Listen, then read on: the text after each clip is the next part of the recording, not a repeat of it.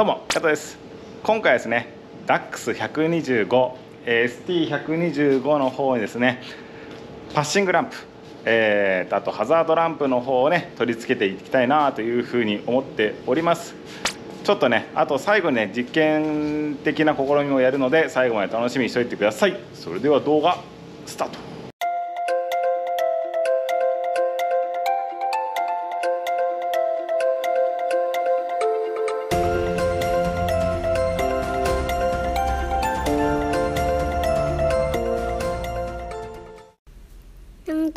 มหานครということでね早速ね取り付けていきたいなというふうに思っていますで今回ね僕がね購入したのがこういった感じのまだちょっと箱に入ってるんですけども、えー、DAX125 用の、えーと、ハザードランプになっていてこことね丸々取り替えという形になりますで中がですねこう開けるとこんな感じによしよしよしよしよし になっていてなっています。ハザードランプがですねここについていてこの後ろにパッシングチッチッチッチッチッチッチッという感じでね取り付けられますまだね実際にポン付けできるかっていうのをね試してないんですけどこれ取り付けながらちょっといろいろ調べていきたいなと思いますということでですね早速取り替えていくんですけれども、えー、とやることはね2つありましてまずここをね取るっていうことですねということとずーっとここ戻戻ってきてここのカプラーのソケットがあるんで、えーと、これを取り外してそのままポン付けで交換になります。で僕ちょっとハンドルをね長くしているんですけどこれ純正のものでいけているんであのもしかしたらねそのまま純正のものでいけるかなというふうに考えてます。まあ、多分大丈夫でしょうね。とりあえずここをね取り外してやっていきます。カプラーをね外す時はですねここの下にをね押すとねプッと音が鳴るのでこのままグッと押し続けるとこうやって外れます。意外と簡単に取れますね。ハンターカブの方はね結構しんどいかったんですけど ST の方はねすぐあっという間に取れちゃいます。無事にね、えーと、コードが外れたので次にここの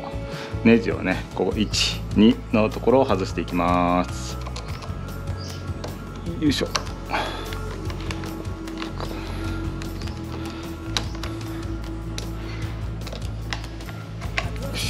ということでね外せました。ちょっとかわあのー、か形がねこんな感じになってて。ちょっと取りづらかったですけど。まあでもすぐ慣れると思います。はい取れました。でこんな感じになってますね。でえー、っとポイントなのでここの穴のところ。穴が開いてるんですけど、まあ、ここがここに合うかどうか。僕がねちょっとねハンドルをね、えーと、変えているんでここに合うかどうかっていうのをちょっと試しながら取り付けていかないといけませんが今回どうだろうね。合うかな。あちょっと合わないっぽいな。はい合わないっていうことで今回もちょっとねハンターカブに続きガリガリガリガリってやんないといけないんでやります。はいということでね今回もここのこっちがえー、っとねプラスチックじゃなくて鉄だったんでこれをこのね 研磨のやつで時間かけて削っていきたいなというふうに思います。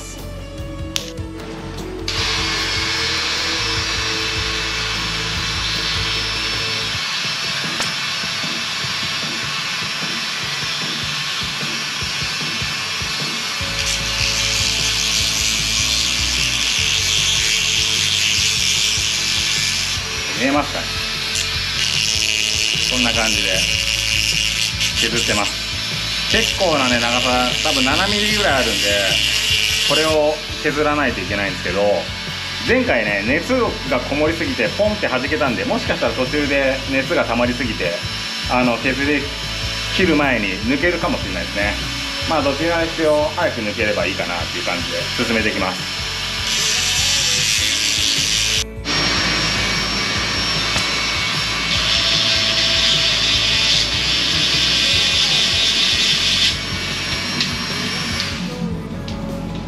はい。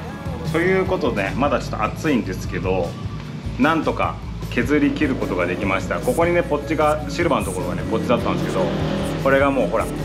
ないぐらいまで削り切りました。じゃこれをね取り付けていきますね。でね早速ここに取り付けていくんですけれども今このままつけちゃうとなんかスルスルスルスルこれで滑っちゃうんですよ。なのでここにあのよく市販で売っているビニールテープを、えー、とまあ約1 1重半から2周ぐらいの間隔で巻いていって厚みを任せます。でこれをつけることによって滑り止めにもなるんで厚さも増して滑り止めになるということでこれを取り付けていきます。じゃこれを巻きつけていきます。こんな感じですね。重なるのがまあ1重ぐらいかなと。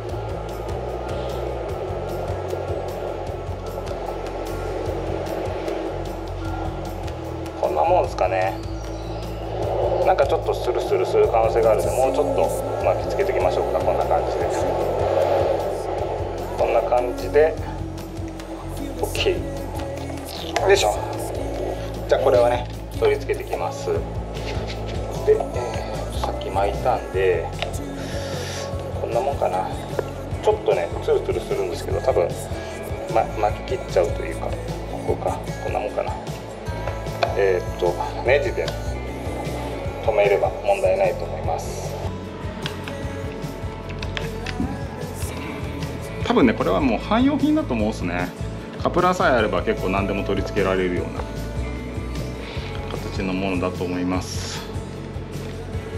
で、まあ、軽く取り付けて、まあ、このチェックこんなもんかな。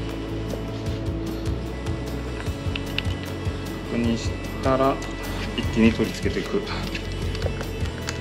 きましょう。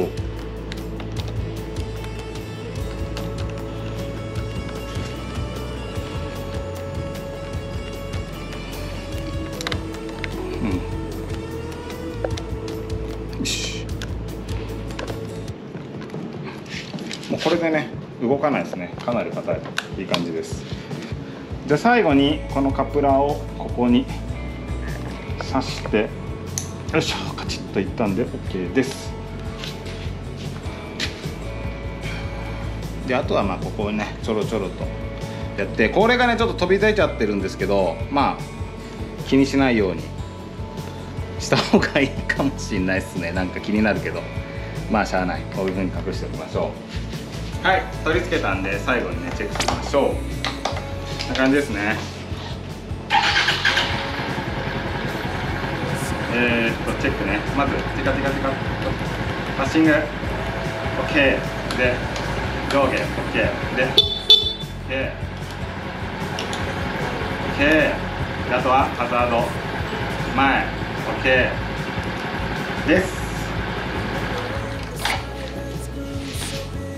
はい。こんな感じでね今回は、えーと、ポン漬けとはいかなかったんですけども、まあ、ちょっと加工が必要だったんですけどあの比較的ね簡単に誰にでも、まあ、道具があれば取り付けられるような感じになってました。あのカプラーがね多分汎用品になっていて、えーと、もう一つの方の何ていうんですかねプラグの方があのビニールで塞がっていて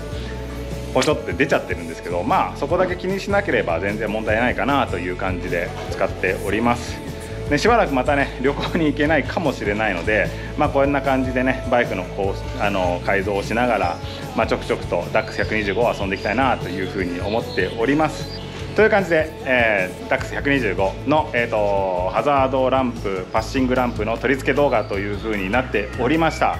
えー、っとね汎用品なものでねちょっとしたポチあのポッチっていうかね、まあ、別のカプラーがねついてたりとかするんですけどまあそこだけ気にしなければね全然問題ないかなというふうに思っておりますちょっとずつねタイの中でもこれを取り付け始めた人がいるのかなまだまだそんなレベルなので、えー、っと先にね、えー欲しあのなんていうかこのラあのスイッチが欲しいっていう方なんかに関してはね注目してみてもいいかなというふうに思っております。またね、えー、と今後もねこういったカスタム、えー、と DAX125 しかり、えー、と CT125 しかりスーパーカブしかりとカスタム動画とかねアップしていこうと思いますんで動画がねよろしければ、えー、チャンネル登録また高評価コメントなんかもねいただけると嬉しいのでよろしくお願いいたします。最後までご視聴いただきましてありがとうございました。またおまけがあるんで最後まで見てくださいね。バイバーイ。ということでねちょっとあの前後しちゃうんですけど最後にねちょっと簡単に説明したいなというふうに思ってます。今回僕がね買った、えーと、ST125 用の、えーと、ハザードランプとパッシングの方なんですけれどもえっ、ー、とね実は CT125 のものと、えー、まあ、ものとというかねあのどちらも同じカプラーがついているんであの同じものがね利用できます。あの今日本だとね結構 CT125 の方のこのパッシングランプとですね、えー、もろもろ手に入らないっていう風にあの話がねネットでは出回ってるんですけどもあのこんなね結構いけてるデザイン。のものを、えーと、取り付けることが可能となっております。あの本当にねあの CT125 のやつ取り付けたいっていう方はねあの連絡もらえれば在庫があればねあの代わりに購入することもできますんでぜひぜひご検討ください。めちゃイケてますよ。